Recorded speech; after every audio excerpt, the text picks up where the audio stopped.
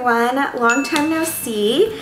I'm going to be filming a first trimester recap plus a bump update and then from here on out you guys are going to see current videos. I actually am going to be filming some military videos here shortly. I have some things on my mind um, in time for, well, I'm not sure if I want to film it so I may not say the topic just in case. I'm trying to figure out if I want to take the risk or not.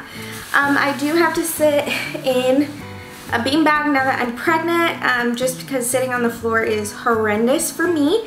I'm also using my daylight because honestly I have not had, I need to have Louis set up my studio lighting and um, I am going to figure out, I might just have him set it up in here. I probably will. Just because we're not gonna, this surprise, this is gonna be the nursery. Um, so that's why I kind of halted. I'm so glad that I did not order the couch and I had all these things in my shopping cart and I something told me I was like well let me just wait. You know what? I'm going to go ahead and jump into this first trimester recap really quickly. I can sum this up in about five minutes. Um, I had more vlogs to show you guys but I just honestly stopped editing them and uploading them just because the rest of my first trimester was honestly depressing. So it's really, really sad that it's depressing. Um, but um, if I could sum one word of my first trimester, which is week one all the way through 13, is probably vomiting.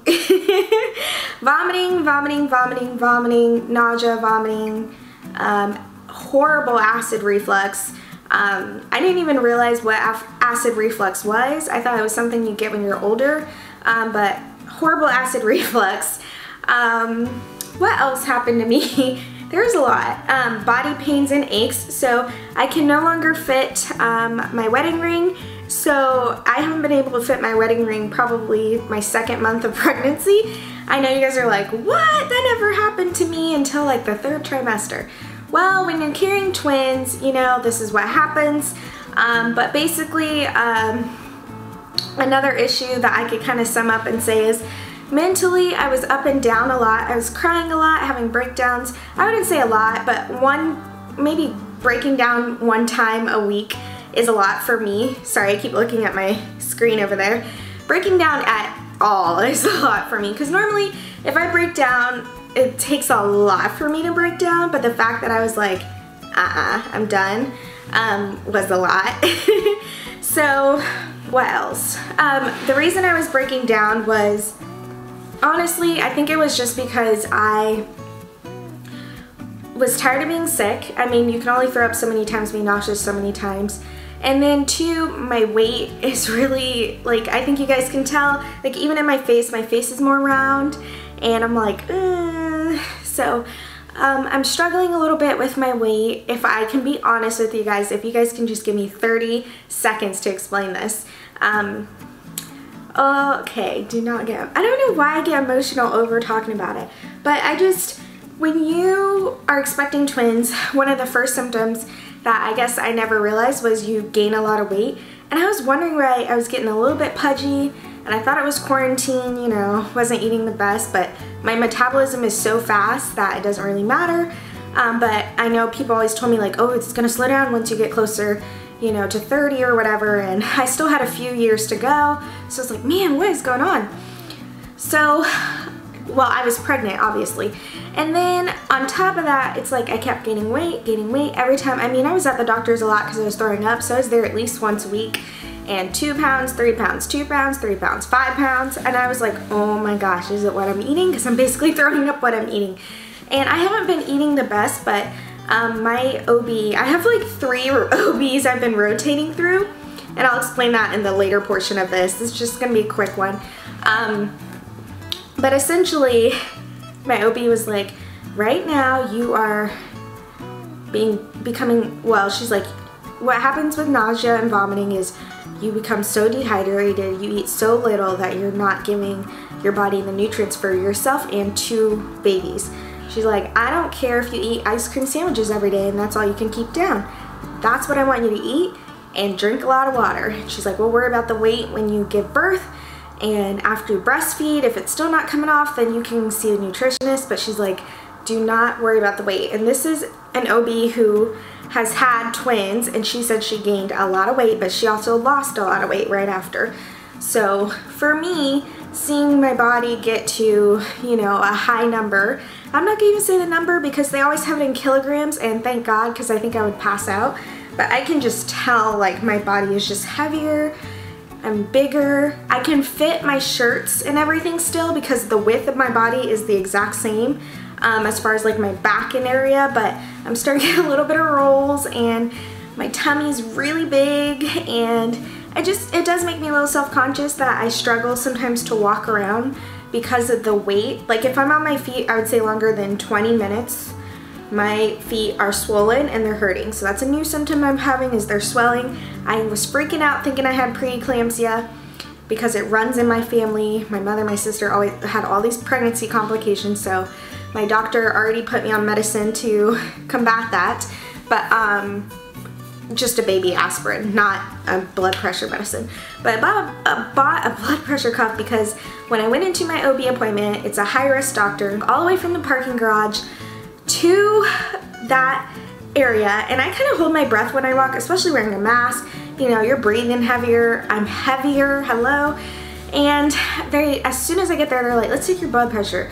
And that was mistake number one because normally when I get to my OB downstairs, my regular one, you just sit there for like 25 minutes because usually they're, I don't know if they're behind or if they just do that so that way your blood pressure, but they're smart. My blood pressure is always 114, 113, over 70, you know, really, really good blood pressure. And normally I actually have a lower blood pressure that, that every time I go in the doctors always comment on. And luckily my blood pressure has been up um, and stable. And then all of a sudden when I get up to the MFM, which is the high risk doctor, the maternal fetal medicine doctor, that's, you see those doctors if you're high risk, um, which I am now high risk. Um, so uh, my blood pressure was 155 over 90, crazy high. The lady was like, I will admit you right now, we can start the paperwork. She's like, this is not normal. I, well, I convinced her. I was like, look at my chart. This is not normal. My blood pressure has been consistent. She's like, oh, you're right. I was like, yeah. So I think it's just one, I'm nervous. Two, they didn't let Louis back there, which I fought them on that and that's a whole nother story. but I always advocate for myself because I'm like, you're not about to tell me. This is my birthing experience. And then three, it's like, um, you took my blood pressure right away. I hold my breath when I work out. I know it's weird, doesn't make sense, but if you are a cheerleader, you understand for two minutes and 30 seconds of your routine, you kind of hold your breath. Like you're breathing, but you're not breathing, and I've just always done that. So I just really struggled my first trimester, and I didn't feel like I need to keep uploading footage for you guys to see the same things of me being sick on the floor, crying, or having a breakdown. So I moved on from that. So you guys really didn't miss anything. I am now 15 weeks, in the second trimester, um, I am my maternal fetal med medicine doctor, my MFM, will now take over all of my care because I am high risk. And the reason I'm high risk is because I'm having, um, oh, I should have looked up the name. I'm having Mo-Di twins. I was trying to figure out the long-term name, but I used to call them Mono-Di, but she said the correct term is Mo-Di. So it means they share placenta, but they're in two separate sacs. So that can be considered high risk because for a number of reasons you can Google it. I'm not going to go through all that. Um, so yeah, so starting on, I think this week I have an appointment with her office again, which I don't like going there because um, Louis can't come back, but the clinic literally two floors below, he can, whatever. Don't agree with it. Don't like how they're having inconsistent care throughout their hospital but I'm just gonna zip my lips and fight another battle as Louis told me to do. Um, well, he didn't tell me to zip my lips because he tried to fight it too, but he's like, you know what? I feel like this is the best care. I want you to stay here because I was like, let's walk. Um, I have my ultrasound and another doctor's appointment. My appointments with them are like two hours. It's ridiculously long, but I have another appointment with them this week and then um, from here on out I'll have an appointment every two weeks. But the lab lost my first genetic blood work that I did in September which really angered, angered me because no one called, no one said anything. I have, go to my MFM, she was gonna read me the results and the lab tossed it out because they packaged it incorrectly. So I had to redo the whole thing And I'm having my gender reveal also this week. And um, it just infuriated me because I, already paid for a private ultrasound. And I'm going to keep anytime, you know, the bigger milestones, I've paid out of pocket for a private one so Louis can go and see and luckily, thank God, we can do that. Um, so we are going to do the 3D 4D one. I'm excited about that. Um, but luckily I paid for a private gender ultrasound. Um, and the twins are measuring one week ahead of me. So I'm 15 and they're 16. Um, so I am really happy about that because um, I was really angry because the blood test that I took that normally people have to pay for, I don't have to pay anything because of military anyways, but that would have 99% proven the gender and you know, I still would have had the ultrasound probably, but you know what I mean? It would have been like, okay, they match. Now it's kind of like, I'm having the gender reveal this week and hopefully the results are back so I can give them to my sister and then she can say, okay, they match or if they don't match, I mean, at that point, what do you do? Other than that, that's the only thing that's been going on. So now moving into my current bump date, update for you guys, bump date? I don't know what the word is. But I, like I said, I'm 15 weeks. My symptoms are still nausea and vomiting.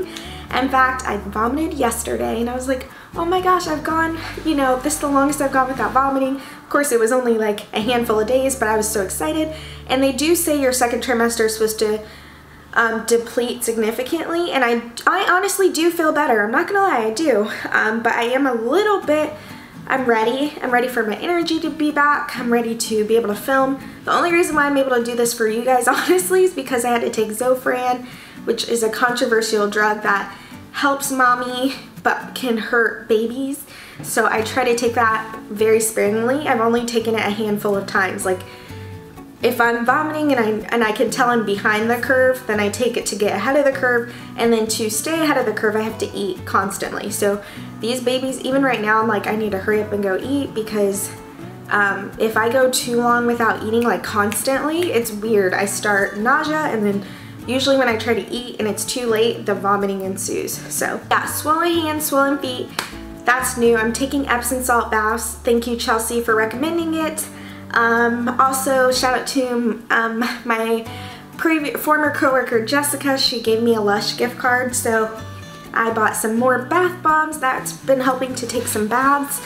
And I think that's pretty much it. The gender is happening. We're gonna do some old wives tales videos to kind of surprise you guys. Well, so see what the old wives tales. Honestly, it's like 50-50. I don't believe in them, but I think it's a fun video to do. I think people forget that I'm in grad school right now. it's really hard sometimes because like for instance my appointment is during a class but luckily that teacher's super cool so I don't feel too bad missing his class. It's just stressful and then it's just stressful to think that I have to give birth and then still be in class. Um, just the way the cookie crumbles, I mean this is early but I just don't see, I can't really take a break because of the program I'm in and it's accelerated like I do a lot of work and so that's been really hard to open my laptop, be on my laptop, focus. Like most of the time I'm in bed, on bed rest and stuff. My doctors just told me to take it easy, but it's really hard. But yeah, the babies are gonna be here really fast. You know, of course I have those anxiety and fears that I think a lot of moms do, but I just have to pray and I've prayed over my children and I know they have purpose and I just deal with things as they come But yeah, so I think that's it for the bump update. Of course, I'm gonna show you guys the bump because that's why you're all here. Also, I'm having a lot of pain in the flower region. If you guys know what I'm talking about, you know what I'm talking about. The flower region hurts really bad. This is again a normal third trimester symptom, but I'm having it in my first slash second. So I would describe being pregnant with twins as almost having an accelerated pregnancy, but it lasts the entire time. That's the best way I can describe it. So, okay, this is, let me, there we go. This is the bump. The bump is here. Say hi, babies. These are your YouTube friends. Um, I can't really fit my clothes anymore.